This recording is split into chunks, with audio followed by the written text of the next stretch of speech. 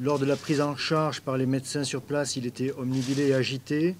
Son état neurologique s'est dégradé rapidement. Il a dû être transporté par hélicoptère rapidement sur l'hôpital de Grenoble. À son arrivée, nous avons constaté d'un point de vue clinique qu'il était en situation grave de coma avec des signes d'hypertension intracrânienne. Le scanner cérébral réalisé en urgence a montré plusieurs éléments, des hématomes intracrâniens, mais aussi des contusions cérébrales et un édème cérébral diffus.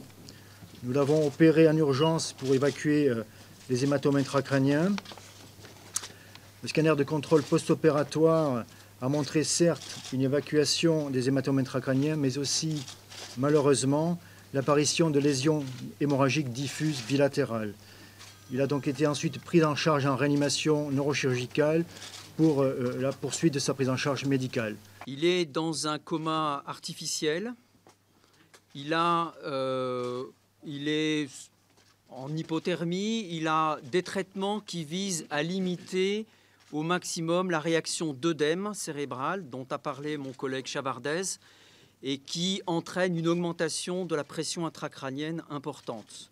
Et donc notre objectif, c'est de limiter au maximum cette montée, cette élévation de pression intracrânienne.